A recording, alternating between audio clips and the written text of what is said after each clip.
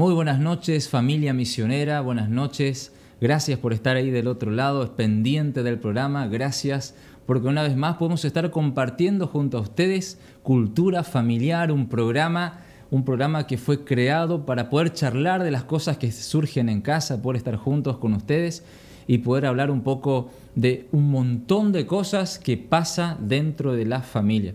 La verdad que durante la semana siempre recibimos mensajes, llamadas y contentos, contentos porque podemos dialogar con ustedes, podemos recibir las inquietudes y así vamos armando los programas. A medida que pasan las cosas, a medida que van sucediendo situaciones en casa, vamos armando el programa. Y hoy no es la, la excepción porque tenemos un programa de algo que se está hablando muchísimo en todas partes, de algo que quizás estamos padeciendo en nuestras casas, de algo que pasa en, en todas partes y para eso tenemos una invitada especial. Pero antes de entrar al tema, quiero mandar saludos. Vos sabés que me dice, Julio, no arranque el programa si no me saludos, así que ahora me acordé y desde el primer programa, hoy de hecho, cumplimos eh, cumplimos ya un mes de cultura familiar, sí que cumplimos la semana pasada y no nos dimos cuenta.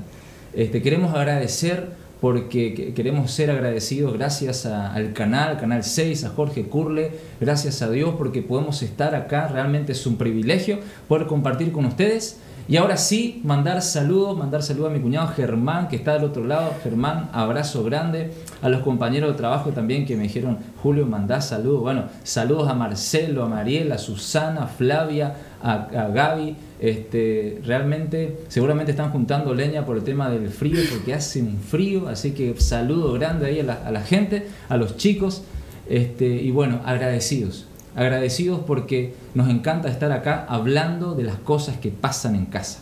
Y yo con mi mata acá porque hace menos 50 grados más o menos, porque un frío en todos lados, realmente tuvimos que sacar el poncho otra vez, así que este, realmente podemos tomar un mate todos los días. Yo tomo mate siempre con mi esposa. Carol, ¿cómo estás?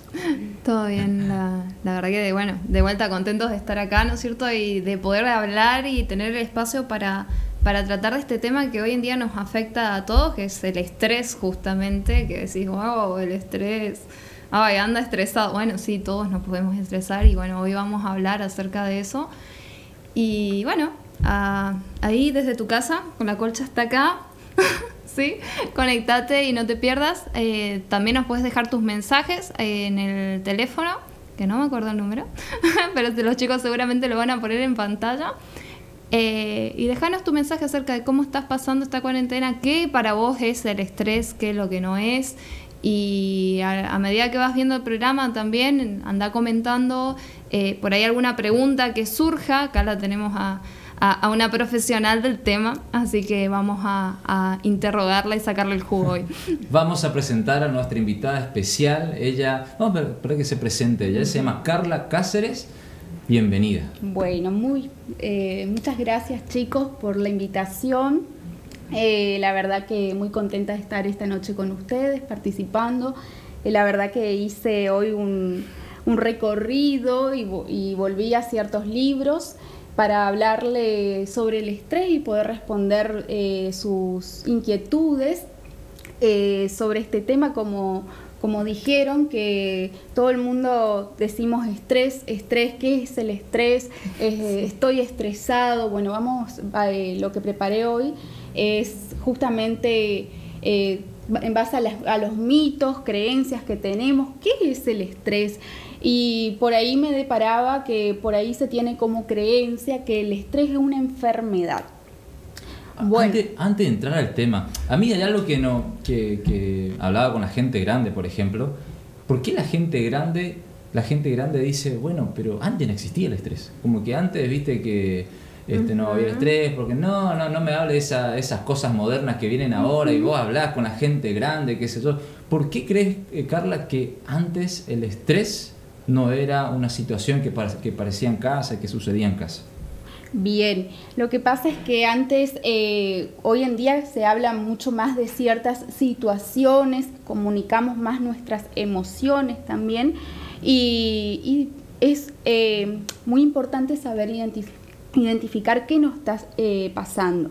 Y obviamente de este último siglo tenemos que decir que, el estrés siempre estuvo, porque es una situación que se le para al ser humano de, alarma que lo coloca en una situación de tensión, eh, una situación perturbadora donde tiene que responder a eso, buscar eh, en sus capacidades poder responder a esa demanda, a esa perturbación externa o quizás interna eh, en base a sus recursos, ¿no?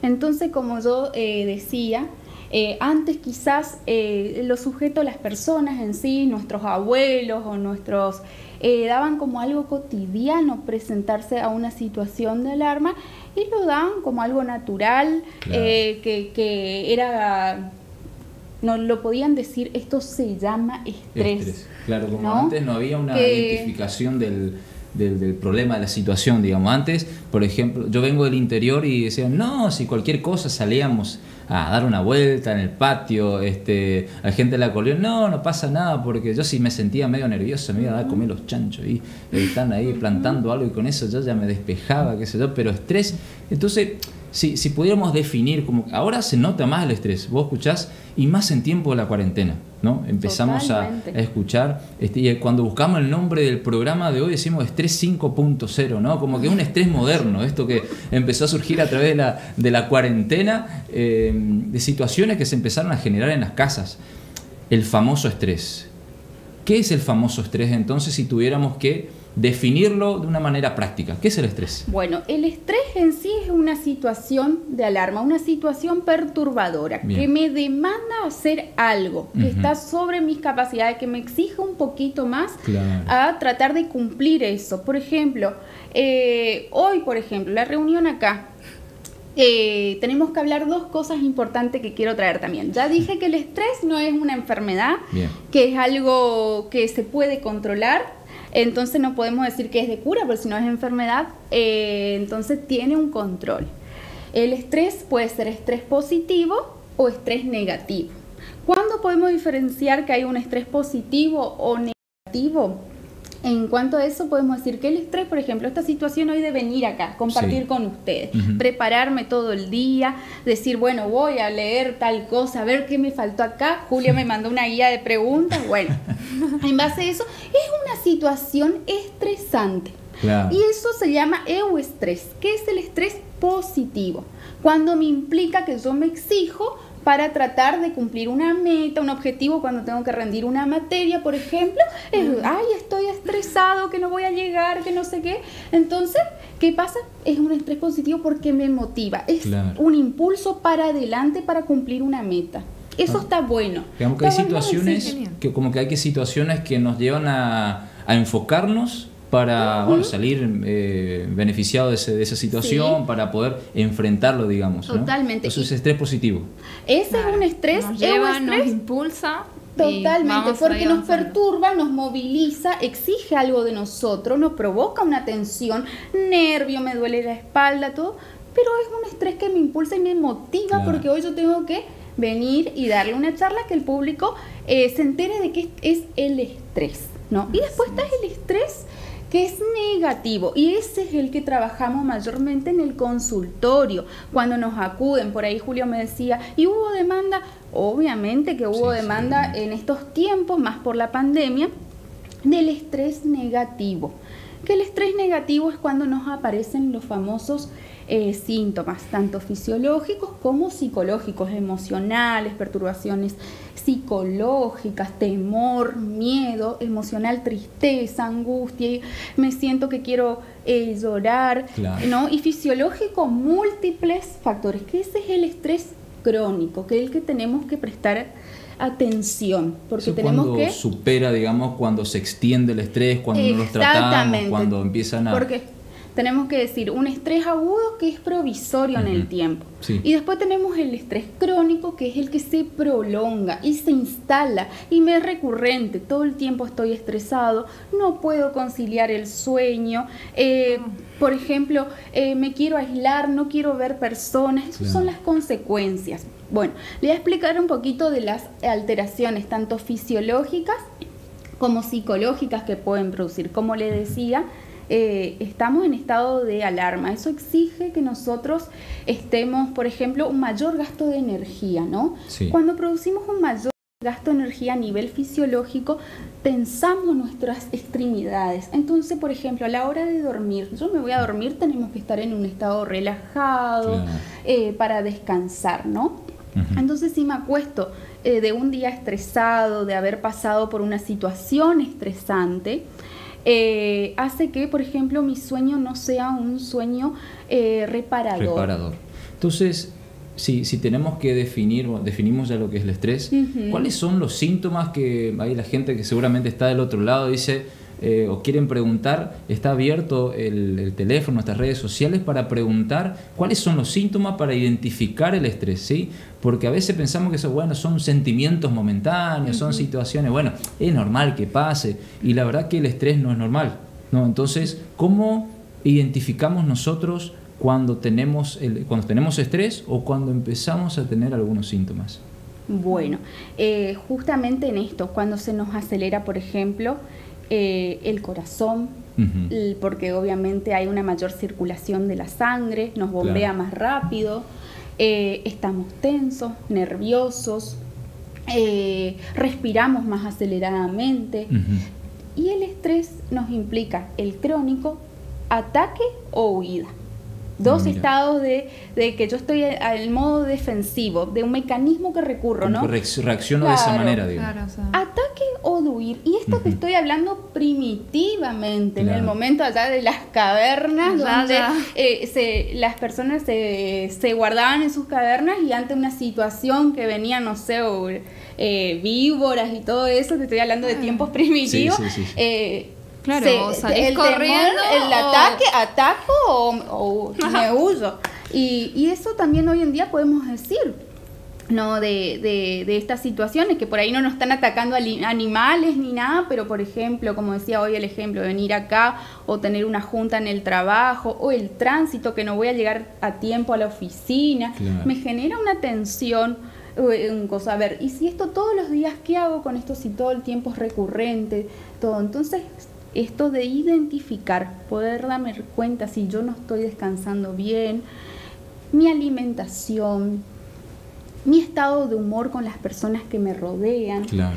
Entonces eso es sumamente importante, pero lo primero que va a hacer ruido es ahí, donde ¿quién, con quiénes yo comparto. Si yo estoy todo el tiempo eh, irritable, de mal humor, porque si está, imagínate, si tu sueño está alterado, se empieza a alterar todo, digamos. No descansamos bien. Justamente que el sueño es, como dije, un estado reparador, donde tus, eh, tus recuerdos, las vivencias del día se van acomodando en el momento de descanso, de reposo. Por eso es importante un sueño, descansar bien, el sueño de noche, no el de día, ¿no? Porque muchas veces, bueno, hay personas que no pueden, por ejemplo, dormir porque tienen trabajos de noche, pero en lo posible se recomienda científicamente, esto está probado, que sea un sueño de, noche. Entonces, esas son las maneras de identificar, eh, digamos, estas señales que nos pasa y que podamos dar cuenta que estamos transitando un, un estado de estrés. Bien. No, sabes que hace poco me tocó ir a una consulta con el médico y me sorprendió porque lo primero que me pregunta la doctora, digo, bueno, que le conté un par de, cosas que por ahí me estaban pasando, que obviamente por esa razón me fui, y lo primero que me consulta es, ¿y cómo estás durmiendo? Me, sorprendió la pregunta y le digo, bien, dice, de noche me dijo, sí, ah, y ahora, ahora, bueno, ahora veo a, qué se refería, qué, qué, qué estaba indagando, a ver qué estaba pasando con eso, así que es eh, está bueno. O sea, ¿cuáles son las señales por ahí más, más fuertes fisiológicamente que yo puedo sentir que decir, bueno, eh, bueno, capaz esto es estrés, o sea, no sé, por ahí veo personas que me dicen, uh, me duele la cabeza todo el día. Como, O que a determinada hora le duele la cabeza y que es un dolor que le parte. ¿Eso es estrés? También ahí hay que ver, por ejemplo, bueno, siempre que pasamos por situaciones así, hay que, es importante eh, siempre acudir al médico, como vos estás contando que te fuiste al médico y bueno, te, te, hizo ciertas preguntas, siempre pasar por una evaluación. Ante algo que sentimos en nuestro cuerpo, nunca... Eh, digamos, actuar nomás o tratar de, que algo va a ser pasajero, ¿no?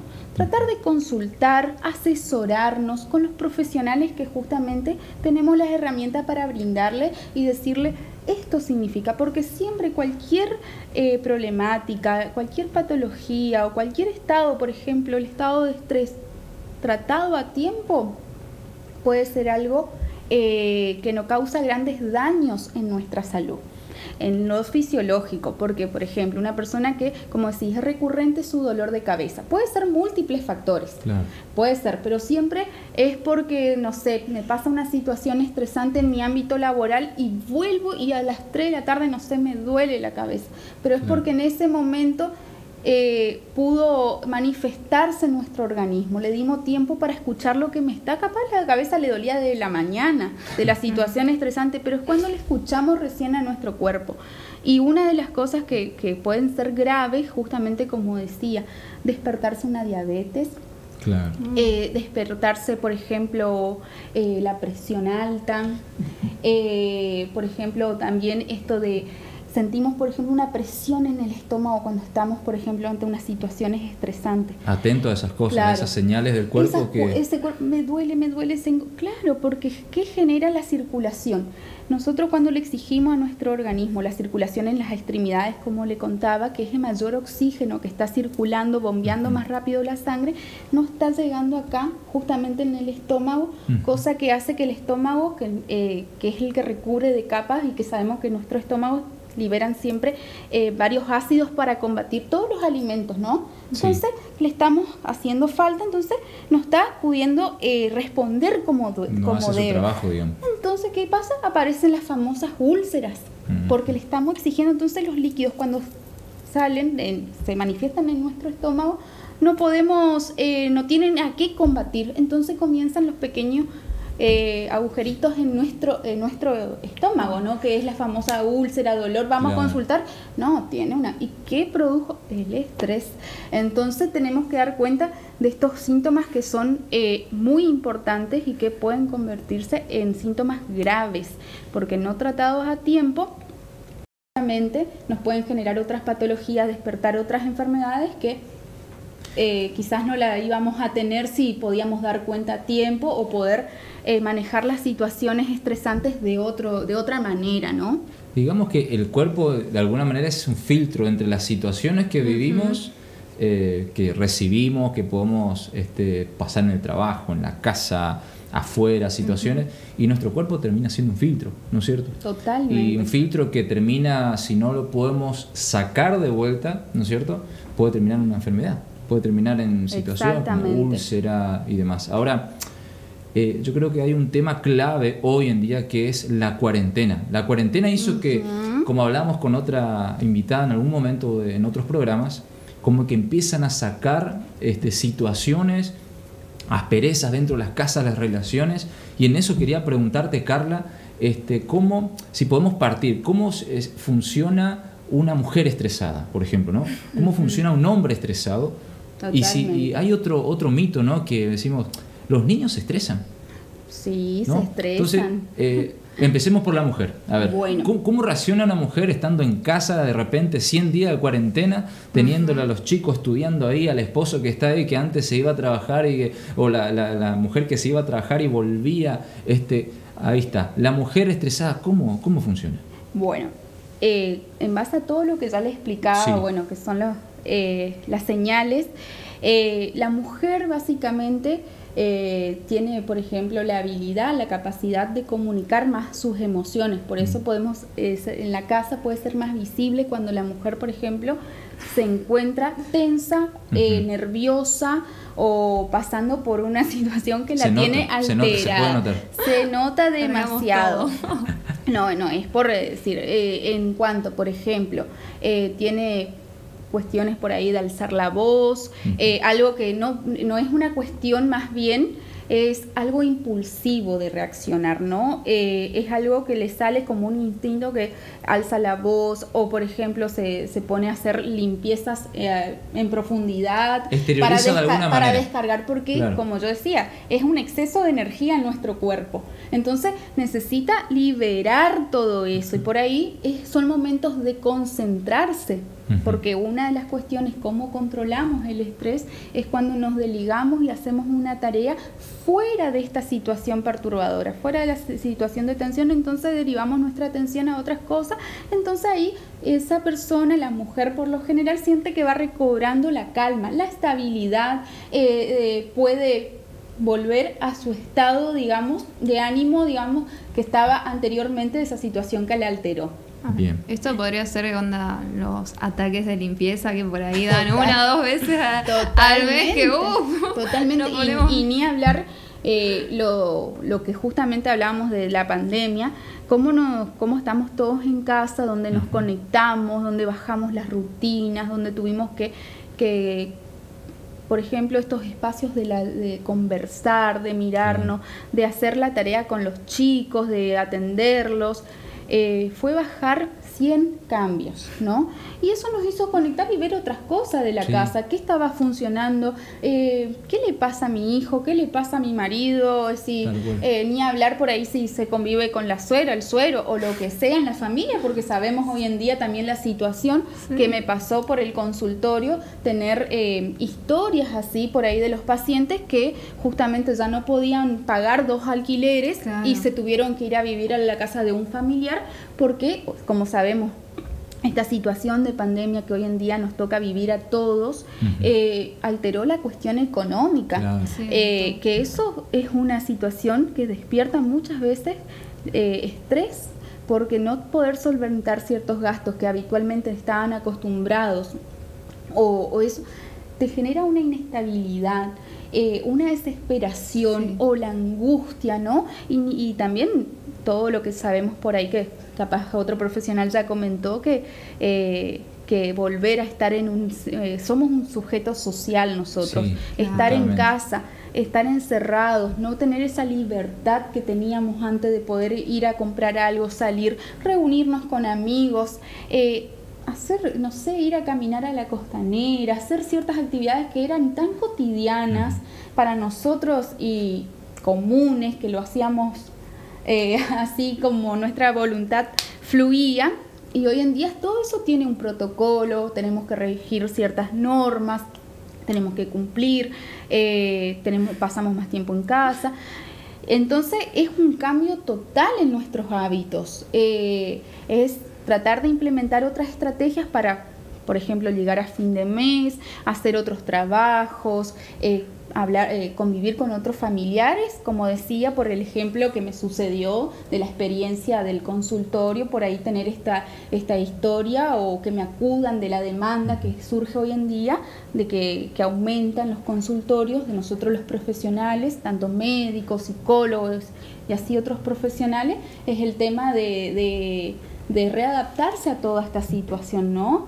Reinventarse en esta situación de pandemia, ¿no? Y eso lo positivo, y es un mensaje que lo quiero transmitir, es que eh, si bien todos nos estamos reacomodando, pero es eh, tenemos que tener y valorar nuestras capacidades de poder hacerlo, ¿no? No quedarnos ahí que estamos pasando en el problema en sí, sino tratar de buscar otras estrategias que justamente la podemos construir con un profesional, ¿viste? Del área psicológica, etcétera, un médico, e inventar otra estrategia. Hay solución, solo hay que tratar de direccionar cómo la modalidad de hacer.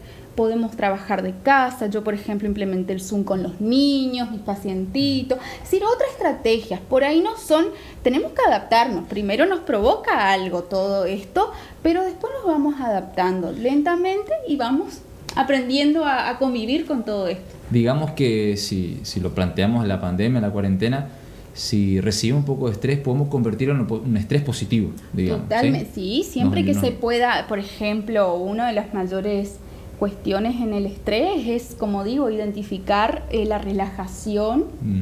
Eh, eh, por ejemplo, hoy en día cosas que por ahí pensaba para transmitirle a nuestro público, es escuchar música, porque el estrés tiene que ver con todas cuestiones hormonales, hormonas que se disparan, ¿no?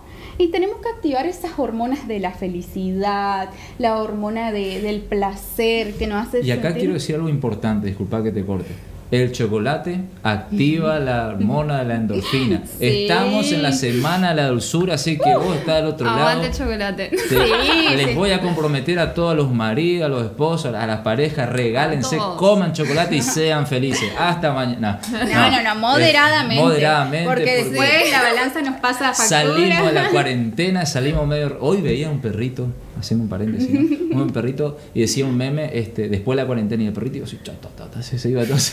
Todo, ya, ya engordó también. Tremendo, tremendo. El que no subió de peso en la cuarentena y no tampoco mujeres se estresen por subir de peso en la cuarentena. Ya, ya vamos a volver. ya se habilitaron los gimnasios. Ya, podemos caminar, ya podemos salir. sí un par de kilos que es.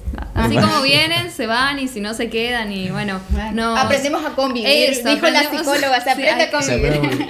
Hay que aprender a, escuchar música, a exteriorizar y a sacar lo mejor de este estrés, un estrés positivo, como decía Carla. Sí. ¿Cómo reacciona un hombre? Porque un hombre es como que es más básico, ¿no? Es más predecible en muchas cosas, pero no quiere decir que no padezca estrés, ¿no? Uh. Entonces, imagínate, yo, mi suegro ya se jubiló, era camionero, él se iba, él vivió como, como una etapa diferente, eh, como todo jubilado, trabajar constantemente. Esto, si bien la cuarentena no es jubilación, pero son 100 días en casa, más de 100 días en casas. Venir y de repente encontrarte con nuestra casa, con que ya no, no haces lo que sabes hacer, quizás afuera con lo que haces mayormente, cómo se reinventa un hombre, cómo recibe el estrés de estar en la casa y cuáles son las herramientas que podemos darle a las personas, a los hombres que están del otro lado, decir, por este camino voy para salir un poco de este estrés. Totalmente, bueno, eh, sí, también pasa por estrés, como decía, los niños también pasan, el hombre también está expuesto a esta situación, obviamente, y, más que como hablaba anteriormente, por una cuestión cultural, imagínate este hombre adentro de casa tantos días sin poder producir, sin poder ir al trabajo o era, era el sostén de la casa, ¿no? Porque está la cuestión cultural del hombre, el sostén, ¿no? Eh, pero el hombre, como eh, saben, no comunica mucho sus emociones. Por ahí es más tardío descubrir y saber qué está pasando o eh, sufre o padece estrés, ¿no? pero esto lo podemos hacer ya en un tiempo un poquito más avanzado porque justamente el comunicar sus emociones sería como una debilidad, ¿no? Eh, y o no me puede, o también esta creencia que no, porque soy hombre no me puede pasar las cosas, no puedo decir que me siento angustiado o, que tengo algún problema o no sé resolver eh, esta situación, ¿no? Eh, entonces justamente por ahí como sugerencia, lo que puedo decir que eh, quién está al lado, eh, si algún familiar o su pareja, o si justamente no tiene una pareja o es una persona cercana que, que pueda percibir, que, que, nota que lo siente eh, cambiado, que siente que algo está pasando, poder preguntar ¿no? poder charlar, que se, que se dé ese espacio de charla, preguntar, a ver, ¿te está pasando algo? O, por ejemplo, la pareja, o o los padres, etcétera, alguien que pueda preguntar si algo le pasa, ¿no? Y en caso que sí eh, sea, ¿no? Que, que, está pasando por algo, eh, tratar, como siempre digo, eh, brindarle la contención en primera primer instancia, la escucha, hablar, tratar de esto transmitir que, que es algo que va a pasar, que va a ser pasajero, que se va a poder salir de esa situación eh, que puede contar con nosotros, que no es que está solo eh, y que también hay profesionales que lo pueden ayudar en caso que el familiar, persona cercana, padres o algo le falte recursos para decir, puedo ayudarte en esta situación. Si faltan los recursos, eso que mencioné recién, podemos decir, ¿querés que te acompañe? Vamos a ver un profesional, alguien que lo pueda asesorar mejor y que pueda tener la evaluación y decir, está pasando por esto, se trata de esta situación. Vamos a ahora ver cuáles serían los objetivos a, a trazar para tratar de revertir este cuadro. Claro, como que el primer punto sería entonces identificar de dónde viene el estrés. ¿Qué es lo que me está estresando? ¿Qué es lo que me está preocupando? Y con eso me acuerdo de, una frase que decía, ¿no es cierto?, que lo primero que tenés que hacer para solucionar un problema es identificar que tenés un problema y aceptar que tenés ese problema y ahí recién vas a poder empezar a tratarlo y demás. Entonces por ahí, ¿no es cierto?, la, ayuda del profesional y a mí me tocó ir en, alguna oportunidad a un psicólogo y sí, o sea, uno dice, wow, pero me voy, me pregunta todo de mi vida, no me dice nada, pero eh, a veces sentimos eso. En sí, el fin, la, finalidad es llevarnos a, darnos cuenta y bueno, ustedes eh, mediante las técnicas ¿cierto? hacen ese testeo de decir, bueno, a esta persona le está pasando esto, por esto, aquello, lo otro. Totalmente. Y demás. Entonces es identificar el problema. Totalmente. Y otra cuestión importante que, como remarca Carol, que, que identificar que me está pasando algo eh, quiere decir que también no somos perfectos. Claro. ¿Qué me pasa entonces? Y una cosa muy conectada al, estrés, esta cuestión, esta búsqueda de todos los seres humanos de la perfección. Somos sujetos imperfectos y está bueno serlo porque tenemos defectos, tenemos y también tenemos virtudes y poder decir esto no sé hacer o no puedo alcanzar esto, pero lo puedo hacer de esta otra manera somos imperfectos y aceptarlo es un gran paso y también ya me previene de ponerme en ciertas situaciones de estrés y digo, ah, no, esto es realmente, pero puedo pedir ayuda, ¿no? Mm. Esa es la clave. En ese sentido, por ahí los hombres no nos, eh, no nos permitimos eso, ¿no? Como que, no, no, no, este, yo sé hacer, no nos podemos equivocar, pero pasa lo que vos decís. Pero el tema de la cuarentena, puntualizando el tema del hombre, el, psicólogo social del hombre era la pesca, el fútbol los fines de semana, el asado, los amigos, el tereré con los vecinos y el mate. Este, entonces ahí el hombre charla tranquilamente, habla y vuelve a la casa una seda, ¿no? Distendido. Distendido. Ahora, eh, no todos los problemas se resuelven de esa manera, digamos, los tres. Sí nos podemos relajar, algo que vos decías clave, que para repasar un poquito el tema de las emociones estamos distendidos, todo bien, pero el estrés sigue estando, ¿no? Y yo conozco mucha gente que, por ahí me, comentaba, che, vos tenés un problema de estómago, yo estoy con una úlcera, el médico me dijo esto y no sé dónde es. Por eso es clave lo que están del otro lado, identificar esas cuestiones como hombres, decía, decía recién la psicóloga, no somos perfectos. ¿no? No podemos equivocar, de hecho, lo hacemos más de lo que nos damos cuenta y en ese sentido, este, relajarnos, relajarnos y más en la pandemia. Eh, enfocarnos, ¿no es cierto?, en eso y decir, bueno. Poder pedir ayuda. Poder pedir ayuda. Esa es la clave total, pedir ayuda a los que tenemos cerca, a un profesional, eh, porque en ese momento sentimos que eh, nos sentimos acompañados. Bien. Y eso es re importante, que no estás solo, que alguien te pueda apoyar emocionalmente en ese momento, sostener. Entonces, eh, hace que la persona ya tenga otra visión del, problema. Y, como decís vos, por ahí antes lo que surgía mucho, la persona que, del hombre en sí, por ahí esta cuestión de eh, tomar en exceso, por ejemplo en momentos de que estaba estresado, sabemos que el alcohol es un depresor del sistema nervioso, tomar en grandes cantidades, por ejemplo en esas juntadas con amigos, eh, o el tabaco, eh, sabemos lo dañino que es para la salud el consumo, entonces eh, eso también son factores que nos dice que, bueno, a ver, ¿dónde estamos delegando, dónde estamos haciendo foco de nuestro problema? Estamos derivando en esa sustancia que en sí pueden agravar nuestra salud, pero no nos van a proporcionar un bienestar poder salir de ahí, sino que es como que silencian por el momento la situación, pero por eso es importante charlarlo, hablarlo, trabajarlo, porque no tenemos que silenciar cuando aparecen las eh, señales, los signos, síntomas, sino que hablarlo, exponerlo para realmente resolverlo, porque si no... Sigue estando. Si, no, sigue estando, como decir ¿qué hago? Y no, y si acá, como decimos, ¿no? Eh, no, no identificamos, no pedimos ayuda, todo lo que vine mencionando, entonces va a, va a seguir existiendo eh, la perturbación, va a seguir existiendo la tensión, el malestar, eh, pero qué más fácil sería si tratamos de tratar de solucionar eso.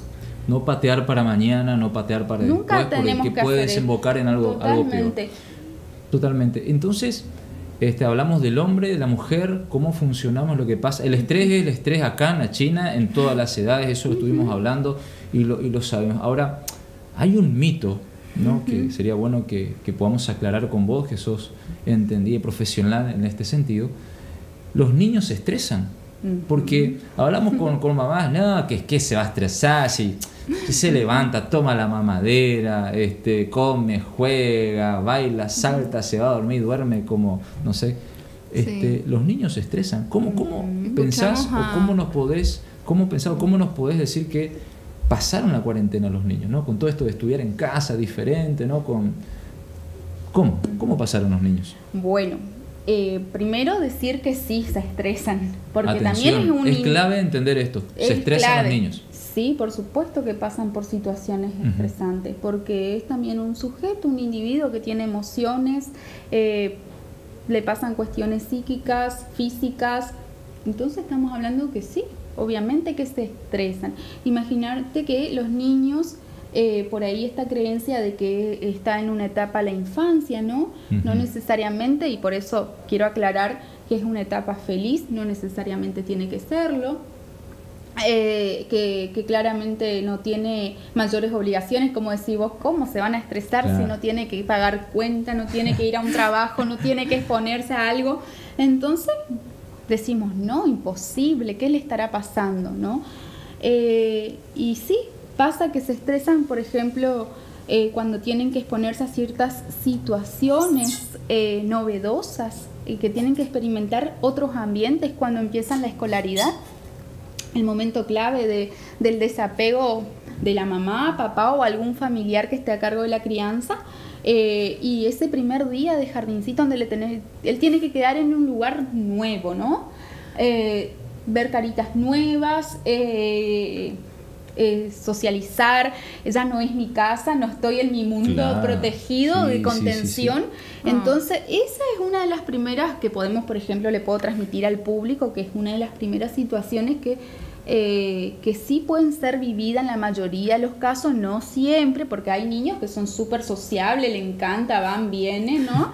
Pero hay otros que lo viven, realmente lo padecen ese primer día de jardincito, de, de dejar ir a mamá, no la voy a ver por un rato porque primero es un periodo de adaptación eh, y después ya va, a ser, va siendo un poquito más, un poquito más, pero igualmente no deja de tener ese, esa connotación por ahí un poco estresante. Entonces, ¿cómo reacciona o cómo nos damos cuenta como padres, y esto también eh, para las personas que están ahí, los padres que están atentos, saber que nuestros hijos se pueden estresar? Yo escuchaba documentales, escuchaba... este este, profesionales que hablaban que desde que nacen, desde que están en la panza, ellos ya pueden estresarse, ¿no? Dependen del ambiente, la atmósfera de la casa, este, si los padres no están pudiendo resolver situaciones de estrés, transmiten y los chicos reciben esa situación. Ahora, eh, entonces, ¿cuáles son los síntomas que podemos identificar en nuestros hijos, tengan la edad que tengan, este, como decís, son señales de estrés. Bien, bueno, una de las señales que por ahí tenemos eh, muy en cuenta también cuando llegan al, consultorio, eh, los papás también hacer un recorrido, ¿no? Cómo es un día habitual de ese niño y, por ejemplo, los papás más que nada que lo conocen pueden dar cuenta de esto de que, por ejemplo, como había explicado, también pueden padecer alteración del sueño, o por ejemplo, en, ciertos momentos eh, largarse a llorar, eh, los famosos eh, berrinches, que no sabemos qué le pasó si todo está a su alcance, pero es algo que pareciera que está faltando. Entonces, tenemos que tratar de, bueno, como decía, identificar eso y preguntar eh, la mamá acercarse, preguntar si algo le está pasando, por qué estás triste. Por ejemplo, eh, uno de, los signos es la tristeza. Eh, se sienten con poco ánimo, por ahí jugaba antes y de repente volvió a casa y no está jugando o, está acostado ah. en un lugar de la casa donde él quizás se sienta más confortable. Entonces podemos dar cuenta que algo sí está pasando. Sabes que con esto que vos decías me estoy acordando de la vez que mi papá hizo así una intervención fuerte con respecto a, sin conocimiento, ¿no es cierto?, de lo que era el estrés y demás, eh, pasó una situación de bullying en el colegio, entonces como que estaba rara. Y me acuerdo mi viejo se se paró y me dice, eh, se, se fue hasta mi habitación y me dice, ¿qué te pasa vos, Guaina?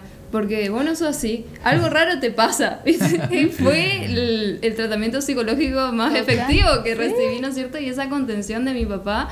Y bueno, obviamente en ese momento no supe expresar lo que me estaba pasando y me tomó un tiempo y me dijo, eh, dije, yo, yo me voy a quedar acá, se sentó en el borde de la cama y dice, yo me voy a quedar acá hasta que vos me digas qué te está pasando, ¿no es cierto? Y se tomó su tiempo y en ese momento no salió, pero más adelante sí salió el que ahora es esa intervención de los padres, ¿no es cierto? ¿Cómo, cómo, es? Claro, ¿Cómo debiera ante ser? esto lo que vos contás eh, es como el acercamiento, ¿no? ¿Qué te está pasando? Preguntar. La contención, digamos. Claro, la famosa contención que a veces puede ser esto, contener puede ser de múltiples maneras, con un abrazo, eh, me siento al lado, te doy una palabra de aliento, ¿no? Muchas maneras de contener. Eh, y esto de preguntar por sus emociones. ¿Qué te está pasando? ¿Te sentís triste? ¿Algo pasó en la escuela?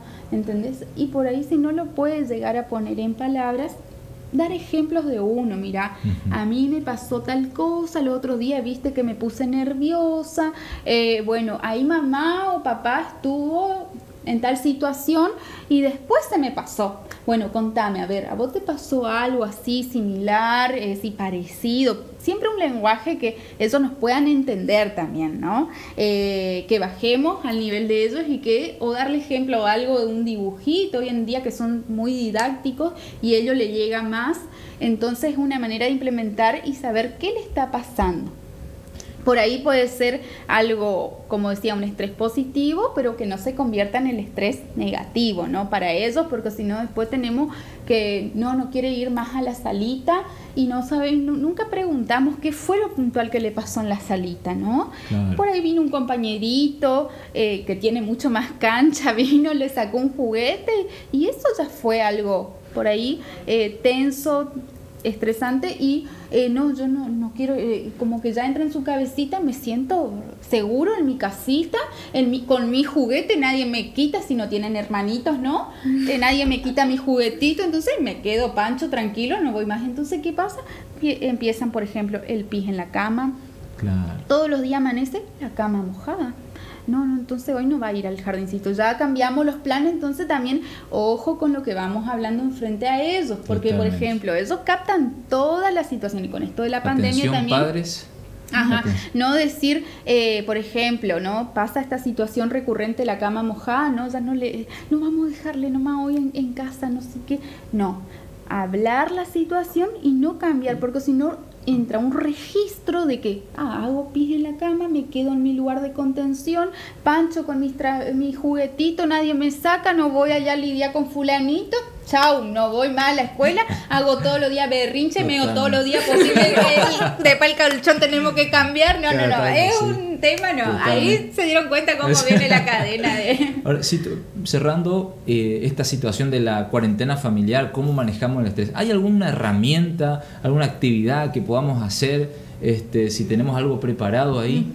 Bueno, yo le traje algo ah, preparado así para que también el, los que nos estén eh, mirando en este momento lo puedan hacer, eh, que se trata de lo siguiente. Yo le voy a hacer, ustedes en su pensamiento, en su imaginación, represéntense una situación estresante, de algún momento que pasaron por estrés, eh, que, le, que, le, que, le, dio una sensación fea.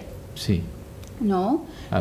bueno, ¿Se pudieron imaginar? A ver, a ver le doy un minutito. Un minuto, vamos a imaginar. Situación estresante. Una situación que pasaron desagradable, algo que ustedes lo pusieron tenso, como que le, hicieron alterar el ritmo de la respiración, la circulación, tenso, los todo lo que le vine explicando. Una situación. la tengo la.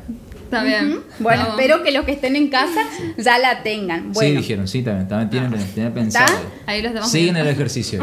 ok, bueno, entonces, ahora les voy a preguntar eh, cuando se imaginaron esa sensación, eh, la situación en sí estresante. ¿Pueden localizar alguna parte del cuerpo que sintieron algún en el cuerpo malestar? Sí. Sí sí. Sí, sí, ¿Me pueden mencionar en qué parte a mí puntualmente me pasa que como que la garganta se me siento como que eh, se me quiere cerrar o me pongo todo tensa en los músculos. Ahora me pasó que sí, como que la garganta, viste, como que se te quiere cerrar. ¿Y no pasa la saliva? Claro, pues, viste esa sensación de tener la garganta irritada que vas tragando. bueno, ¿y a vos, Julia? algo que... Una sensación en el pecho, viste, como de opresión. De, como de opresión, así. Bien. Bueno, ahora vamos. Esa es la primera instancia. Ahora vamos el otro paso para revertir esta situación. El mecanismo que debemos hacer para que esto no nos suceda. Que sería esta situación estresante que ustedes los dos se imaginaron y los que están en casa se imaginaron también. Se la representaron. Ahora, la misma sensación, la misma, el mismo pensamiento con esta acá. Por ejemplo, Carol me mencionaba en la garganta, no pasa la saliva. Julio la opresión en el pecho. Ahora te voy a pedir, Carol, que vos te la representes esa misma situación, pero con una situación, una sensación en tu garganta que algo está fluyendo, algo rico, eh, algo agradable. Cuando yo cocino, por ejemplo. Eh, Cuando yo cocino. Y ahora que vos, Julio, también esta opresión la sientas como una sensación de libertad. Ya cuando le decía, yo ya me imaginé cuando la vi a ella por primera vez. Ah, una presión en el pecho.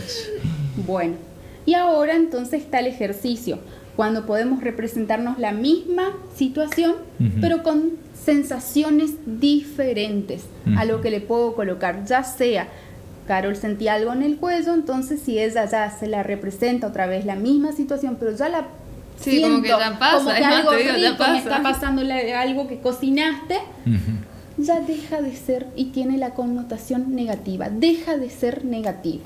La convertimos en algo más favorable y algo lindo.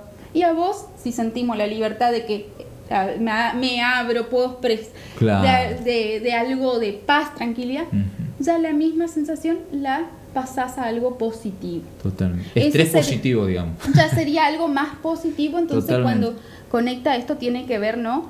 Como quería explicarle para que el público entienda que esto tiene que ver que nuestro cuerpo recepciona todas las señales, ¿no? Todas estas cuestiones. Y esto se conecta con nuestras emociones en el cerebro. Entonces que siempre si estamos expuestos a las mismas eh, situaciones estresantes, vamos a ese recuerdo, ¿no? Tenemos nosotros, ¿no? Una parte de nuestro cerebro que guarda todos los recuerdos y las emociones. Entonces hace que se active otra vez nuestra sensación. Pero si practicamos este ejercicio de cambiarle por una sensación mejor, positiva, algo agradable, que me hace sentir bien, va a hacer que desaparezca esto y que ya tenga otro registro positivo en mis recuerdos y en mis emociones.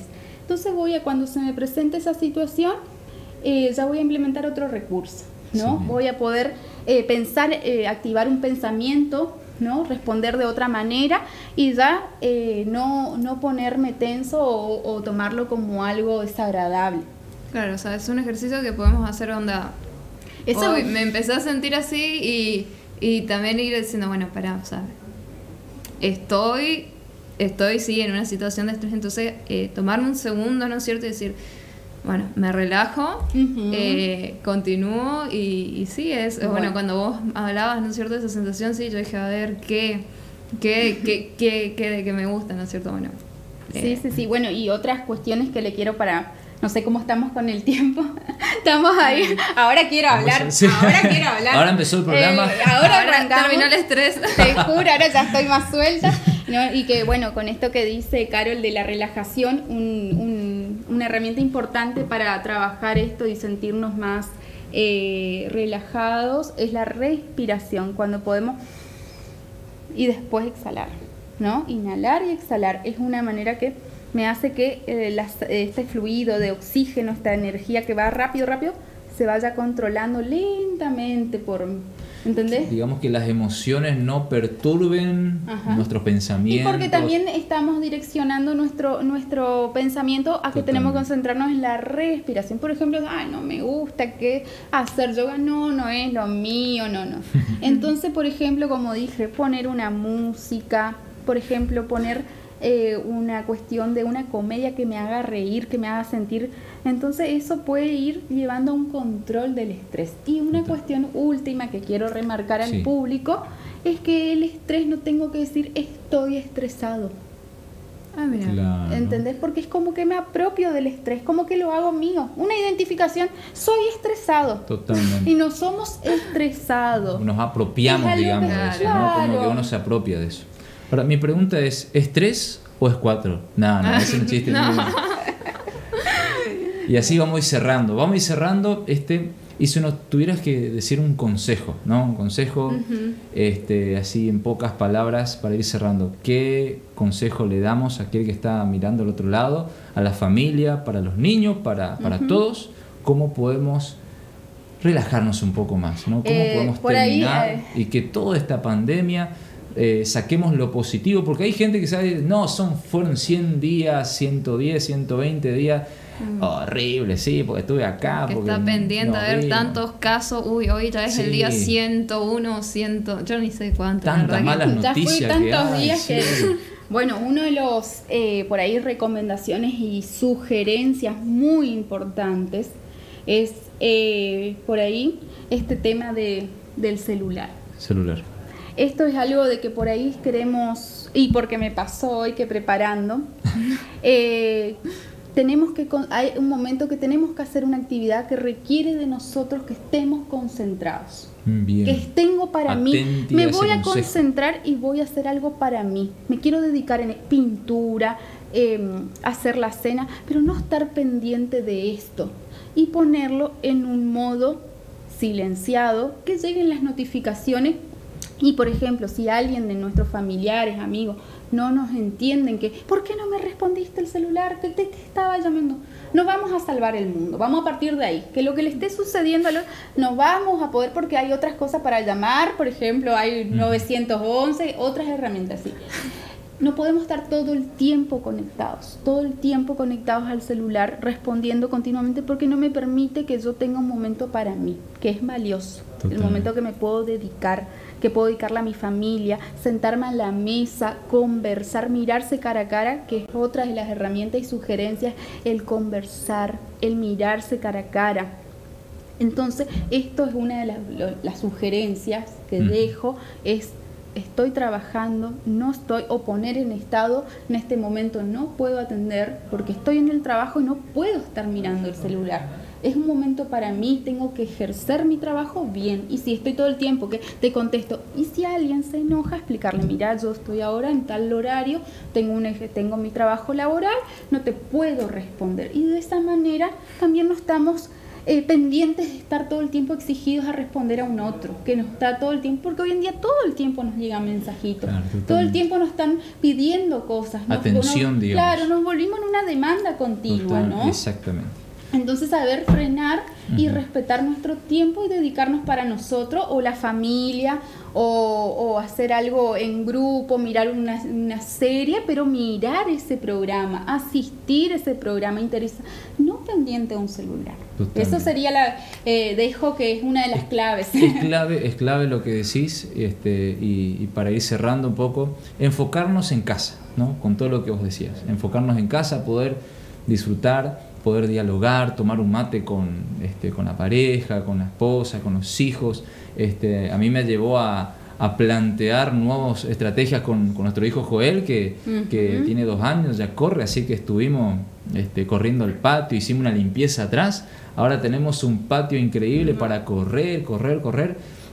Y la verdad que nos, nos hizo muy bien, fuimos creciendo en la relación, también con Carol, este, decir, por ejemplo, vamos a sentarnos a tener un tiempo, porque uno no se da cuenta, uno se da cuenta, está así constantemente y uno por ahí este, piensa que necesita ocupar su tiempo, ¿no? Y en realidad el tiempo es oro, el tiempo es oro y cómo enfocamos ese tiempo es re importante. Totalmente. Así que familia, realmente ha sido un placer. Ha sido un placer estar con ustedes. Espero que hayan aprendido, así como nosotros acá. Tenemos miles de preguntas para hacerle a Carla miles de preguntas, pero bueno, va a quedar para la próxima. Le comprometemos para la próxima, Carla. Este, agradecidos por nuestra parte, hemos llegado al final del programa y acuérdense, como decía, como, como decía ella también, el mundo no se termina por no responder un mensaje, por no, enfoquémonos en casa. Enfoquémonos en ese tiempo de calidad con nuestra familia, este, tomando un mate, un tereré, con los hijos, porque estamos edificando futuro, estamos edificando herencia, estamos edificando algo que va a ser para, para, para, hacer crecer nuestra familia, para edificar nuestra familia con el diálogo, para edificar nuestra familia, y eso habla de mucho amor, ¿no? que yo preste tiempo para, para mi esposa, que mi esposa preste tiempo para mí, nosotros para los hijos, y ahí vamos edificando y vamos formando una cultura familiar en nuestras casas. ¿sí? Así es, así que bueno, saludos a todos, nos estamos viendo la semana que viene. Eh, un programa a full la semana que viene tenemos ahí, Eso, vamos, vamos a dar la primicia. Una sorpresa. Primero agradecerte, Carla. Gracias por tu tiempo. Gracias, a gracias, gracias a, a, al compañero que vino ahí a hacerle el aguante, que estuvo ahí, no me acuerdo el nombre nomás, pero sí, este y contarles a la gente lo que vamos a tener la semana que viene. Eh, Él- Carla vino a hacer la previa, vino, a, hacer, ahí vino a hacer a- la previa. a empezar a mechar el tema. Atente a los que están del otro lado, ¿sí? Vamos a tener un programa súper especial. Como invitada va a estar Alejandra Stamateas.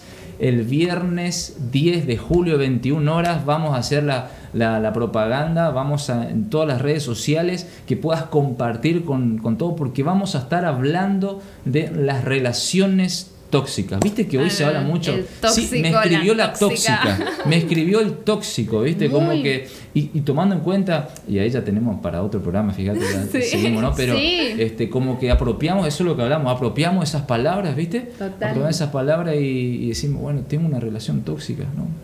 Para la semana que viene, viernes 21 horas, relaciones tóxicas también con Alejandra Stamateas. Esto ha sido todo por hoy, que tengan una bendecida semana. Así es.